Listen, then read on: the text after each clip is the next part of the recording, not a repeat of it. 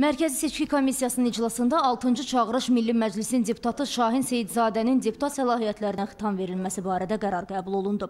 Bildirildi ki, ölkə başçısının sərəncamı ilə İçəri şəhər Dövlət Tarix Memarlıq Qoruğu İdarəsinin idarə heyətinin sədri təyin edildiyinə görə Konstitusiya və Seçki Məcəlləsinin tələblərinə əsasən onun deputat səlahiyyətlərinə xitam verilməlidir. Sonra Azərbaycan vətəndaşlarının qanunvericilik təşəbbüsü hüququndan istifadə etməsi qaydası haqqında qanunda nəzərdə tutulmuş sənəd nümunələri təsdiqlənir təsdiqləndi. Seçki məntəqələrində veb kameraların quraşdırılması və istifadəsinə dair qaydalara da dəyişiklik olundu.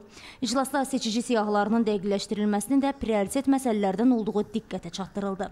Dairə seçki komissiyaları Mərkəzi Seçki Komissiyasından əldə işləyib, həmin məntəqələr üzrə seçki siyahılarını ümumiləşdirib, yaxın vaxtlarda bizə təqdim etdikləri siyahılar üzrə ölkə üzrə yeni seçki siyahıları təqdim ediləcəkdir. Məcəllənin tələbinə görə biz onu may ayının axırına qədər tam dəqiqləşdirib başa çatdırmalıyıq və sonra artıq ona rəsmi status veririk, ənənəvi olaraq. Ona görə mən komissiya üzvləri artıq həm aparat işçiləri, həm komissiya üzvləri